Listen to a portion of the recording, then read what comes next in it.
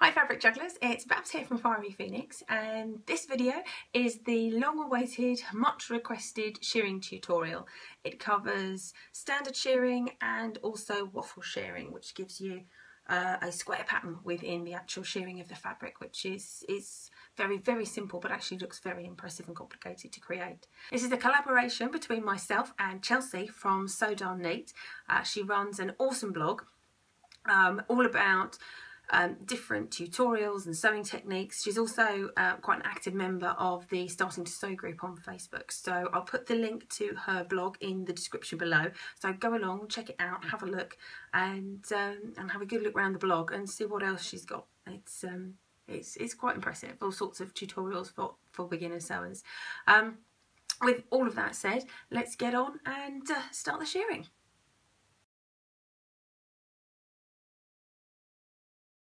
And today, my fabric jugglers, we will be taking you on a trip down shirring lane. So we will be using some shirring elastic to create both waffle shirring and plain shirring.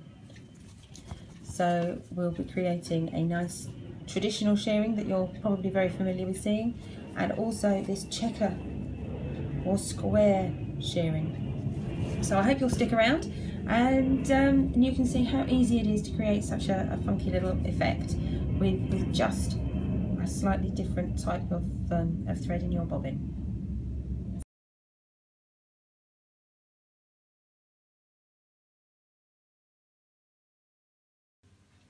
Here we have our shirring elastic. I will put a link in the description box below to, um, to purchase it online if you can't manage to find it elsewhere. And what we need to do is manually wind the bobbin.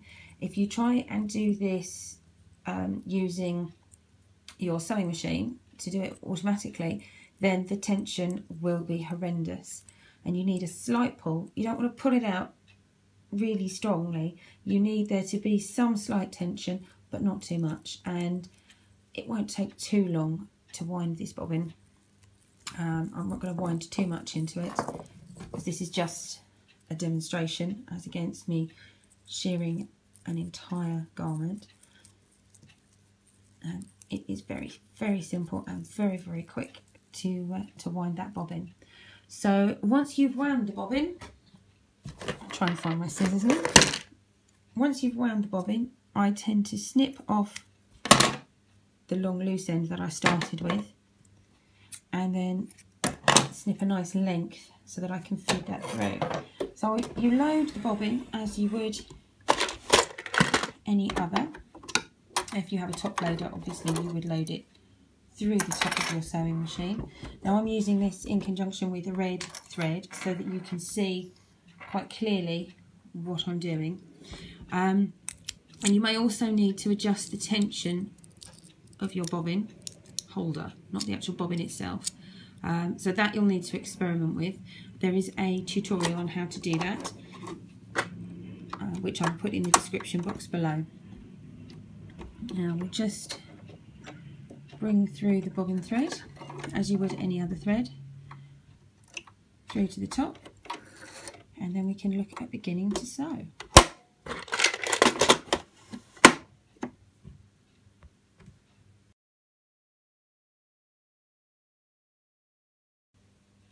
Now shirring is another technique which is very, very straightforward and simple to do, which for some reason really intimidates people. You have a an elastic in your bobbin thread, you have a standard thread in your top thread, and the key thing that you must remember when sewing is to always sew from the top of your fabric. Um, otherwise you will end up with the elastic on the surface of your fabric and that's not what you want to see. So you take a fairly long stitch. You can experiment with different length stitches. The shorter the stitch, the tighter the um, the tighter the the gather. Uh, I've gone for a, a three and a half at the moment, and we shall just do a straight stitch and sew through.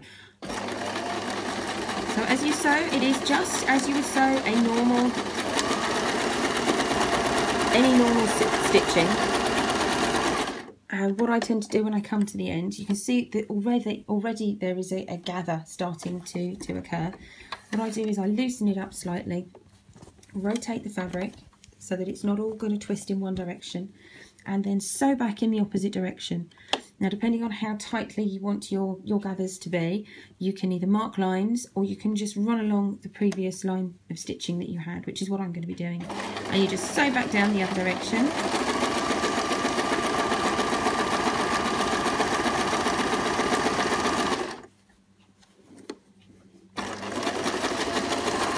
When you come to the end, loosen it up somewhat, turn around and return in the other direction. I'll do this another two or three times so that we've got a run of about five or six and then you can see the gather effect.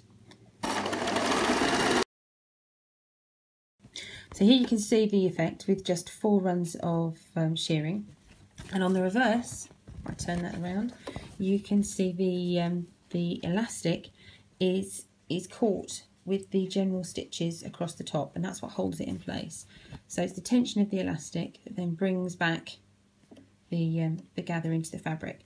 Now what you can do is take this one step further and after you've shirred after you've shirred horizontally you can then shirr vertically to create what's called a waffle shirring.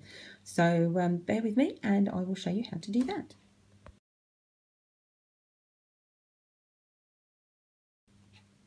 So previously we were shirring in this direction and now we're going to be shirring in this direction. So we're now sewing 90 degrees to our original shirring lines and this is what will give us that waffle cloth effect.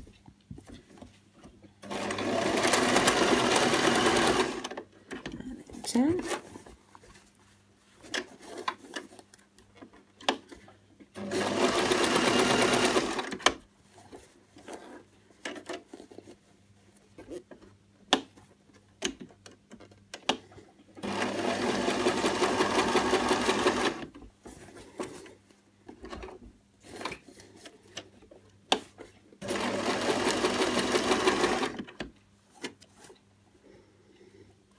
last one.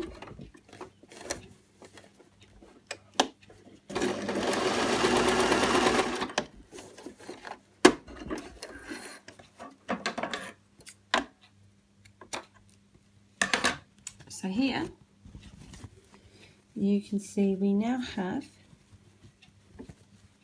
instead of just a plain one directional shirring, we have a checker pattern which is probably clearer to see on the reverse, which gives us a much tighter um, waffle cloth effect. Um, so if we have a look at the reverse, we have the, the plain shirring. And then over this side, we have that checkerboard effect, which gives us that really nice tight waffle shirring. Well, I hope this has been of some help to you. And if it has please give the video a big thumbs up. Uh, share it around. Have a look at what else is on the channel. And if you haven't already please feel free to subscribe. I'll see you later. Bye